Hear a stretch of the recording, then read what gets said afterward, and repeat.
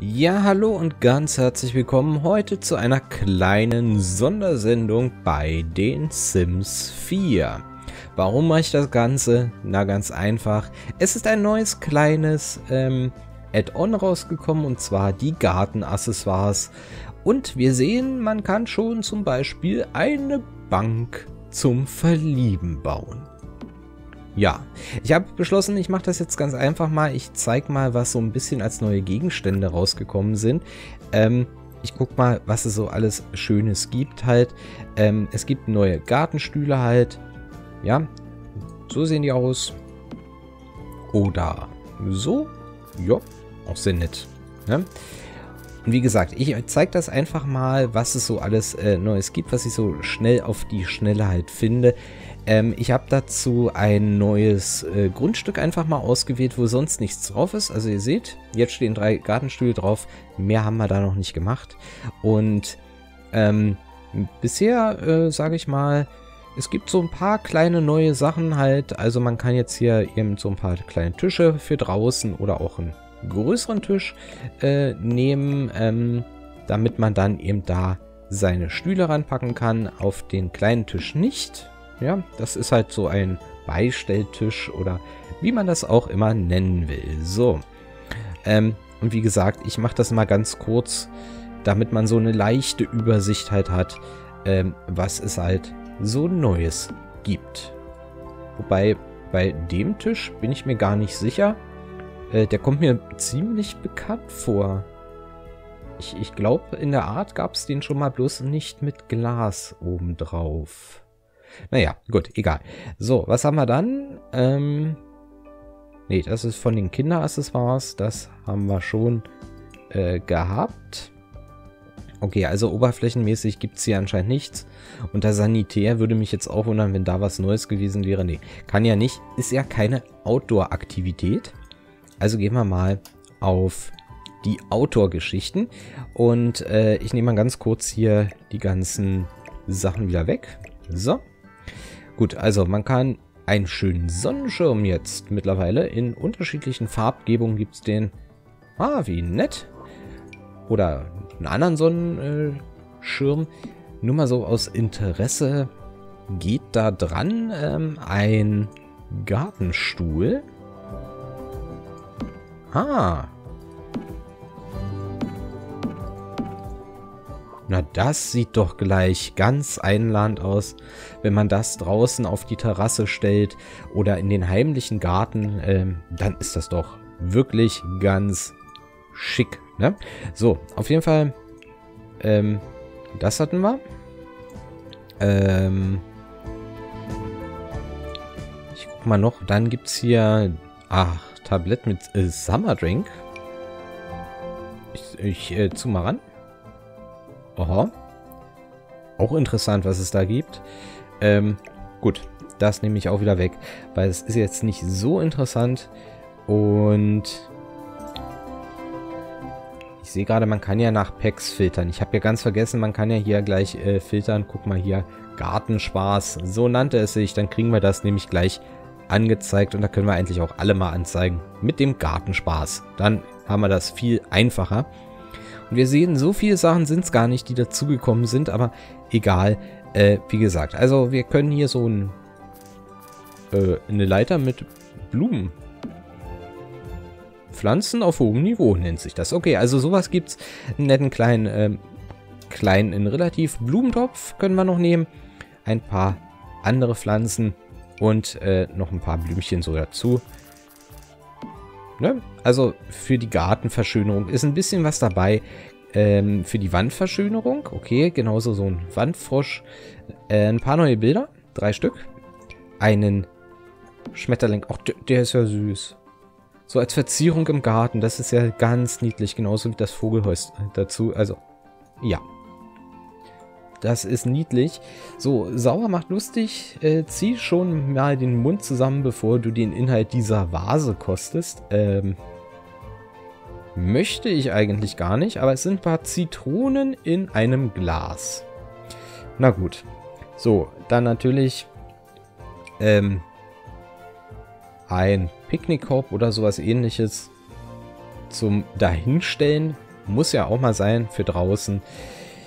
Ähm, dann den Frosch als Teppich, genauso die ähm, Blume, ne, damit man das auch mal sieht. Das gibt es jetzt auch neu und einen großen, großen, großen Teppich für alle, die sich draußen ausbreiten wollen. Natürlich mit Duftkerze. Die auch prompt hier angeht, wenn ich die platziere. So. Ne? Für draußen in der Nacht. Oder mit Blume. Was auch sehr niedlich ist. Moment, ich äh, zoome mal ran. Damit man die mal ganz kurz von nahen sieht. Eine Blume halt mit ähm, Kerze dran. Also deswegen, das gibt es auch noch. Eine kleine Laterne. Kann man sich auch hinstellen, wenn man das möchte. So, ansonsten eine Galande äh, mit Blümchen oder halt so eine so ein Rad. Das hat sogar Licht drin, wenn ich das sehe. Also ist auch ganz niedlich gemacht. Und wir haben noch die Plumbwood-Box. Ähm, Spaß Nummer 1. Ähm, also macht Spaß. Und was soll das sein? Die Kohlenstoffdatierung dieses Lautsprechers. Ah, eine Musikbox. Den ich so nicht einfach hinstellen kann oder sowas. Naja, egal. Gut, die äh, Tische hatte ich schon gezeigt. Dann kommen wir da hinten auch gleich zu etwas. Natürlich haben wir noch ein Windspiel aus sonst was. Also das kennt man ja, das hängt man an die Häuser. Das klirrt, wenn der Wind sich drin fängt.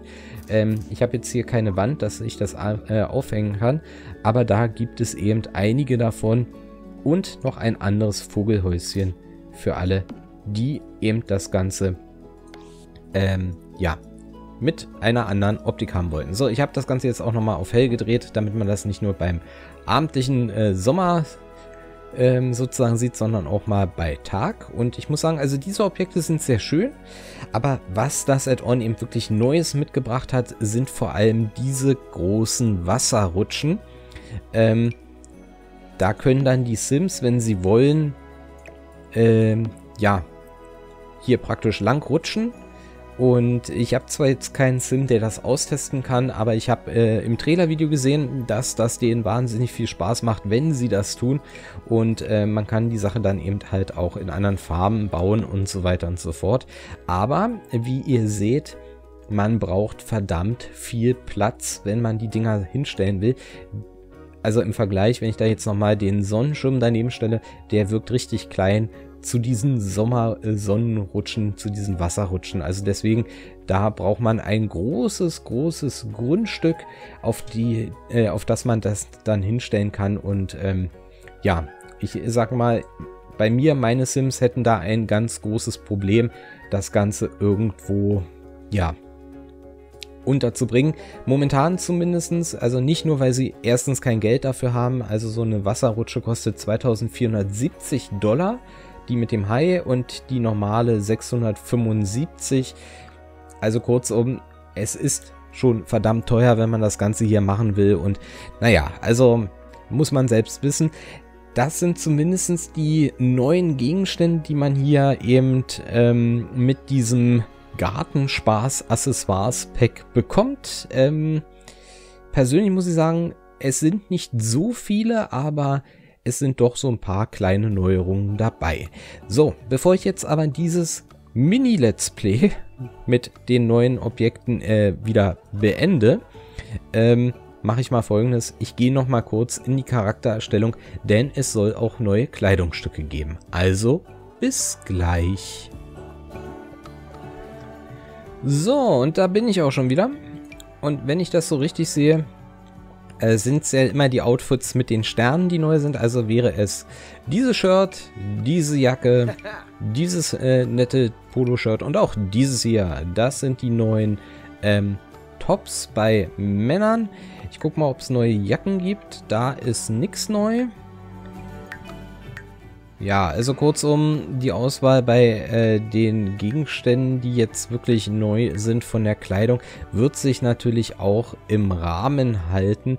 Äh, hätte mich auch gewundert, wenn es jetzt anders ist. Ähm, ganz einfach deswegen, weil ähm, eine, neue, eine neue kurze Hose passt ja zu draußen. Ne? Soll ja für den Sommer alles sein. Ähm, okay, den Schlabberlook können wir auch nehmen oder halt den etwas engeren Look in äh, Dreiviertelhose. Ja, aber wie gesagt, äh, es hätte mich gewundert, wenn es jetzt ganz viele neue Kleidung hier gibt, aus dem ganz einfachen Grunde. Ähm, ups, also die Schuhe sehen nett aus. Ich nehme mal kurz hier die Socken von ihm weg, damit man mal kurz sieht, wie die Schuhe aussehen. Ja. Und wie gesagt, hätte mich halt gewundert, wenn es wirklich ganz neue Sachen gibt. Denn ähm, es ist halt nur so ein Zusatzpack, was man kaufen kann. Man muss sich selbst immer überlegen, ob einem das gefällt, ob es ausreicht sozusagen, was man da bekommt. Ich meine, wenn man ein echter Simmler ist, dann wird man natürlich alles kaufen, was da ist, ähm, damit man das Komplettpaket kriegt. Persönlich muss ich sagen, ich bin jetzt hier ähm, von den Accessoires, die es halt gibt, ähm, so, so ein ganz wenig enttäuscht. Ja, so, so ein bisschen halt, weil die Auswahl ist dann doch nicht wirklich so umwerfend. Ähm, aber das muss jeder für sich selbst halt sehen. Äh, es gibt hier für die weiblichen natürlich auch noch einen neuen Look. Ein wenig, okay, das sieht ganz nett aus, auch wenn ich mir gar nicht sicher bin. Ach, das ist vorne zusammengeknotet. Das sieht man vielleicht mit einer anderen Farbgebung mal ein bisschen besser. Genau, so. Ähm, das hier ist ein bisschen schlicht, aber egal, das geht auch noch. Also die weiblichen Sims haben anscheinend ein bisschen mehr bekommen. Ah. Äh, das... Nee, das sind alte Teile. Wollte ich gerade sagen, die passen doch hier gar nicht in das Sommer-Outfit. Wie sieht es hier aus? Die beiden sind wieder Sommer-Outfit, also deswegen, die wären neu. Ähm, wie sieht es hier aus? Die habe ich bloß nie angeklickt, aber das da ist auch im Sommer-Outfit drin. Das sieht man immer an diesem kleinen Logo da, an diesem Getränk, wenn man das äh, anklickt. Also deswegen, so ein bisschen was ist dabei halt. Ähm, man sieht es ja auch, wenn man hier oben klickt auf herunterladbare Inhalte und man sich die Details dann von den ähm, ja, Paketen anguckt. Da kann man sich auch ansehen, was eben im ähm, Paket mit drin ist. Aber ähm, wir wissen, äh, beziehungsweise ich weiß, dass momentan es leider einen kleinen Fehler gibt. Wenn ich da oben klicke, passiert leider gar nichts. Also deswegen, ähm, ich ähm, kann nur sagen, okay, ich kann es sozusagen euch nur mal so zeigen, was es hier so eben als neue Objekte gibt und damit müsste ich auch gleich durch sein. Ich gucke nochmal hier bei den äh, Schuhen, ob da noch was ist. Ähm, ich bin mir aber ehrlich gesagt nicht sicher, ob... Ja, doch, hier. Ne? Ein paar neumodische Sommerschuhe sind noch dabei. Ja, die gehören dazu. Und die gehören nicht dazu, die habe ich irgendwie wo freigeschaltet, aber egal. Okay, also ein wenig was ist dabei, ähm, was man eben benutzen kann. Die große Neuerung dieses ähm, Packs sind halt die Wasserrutschen, die man im Garten verwenden kann. Wie gesagt, ähm, zeigen kann ich das jetzt nicht, weil meine Sims die den Platz eben nicht haben oder halt auch das Geld nicht. Aber irgendwann werde ich garantiert auch sowas mal in den Garten bauen, damit man das dann austesten kann. Ja, aber das soll ja auch nur so ein kurzer Überblick sein, was eben gerade neu herausgekommen ist und äh, vielleicht hat es ja den einen oder anderen von euch interessiert. Ja, und in diesem Sinne danke ich fürs Zusehen. Wir sehen uns dann demnächst wieder im normalen Spiel hier bei den Sims 4. Bis dahin macht's gut. Tschüss.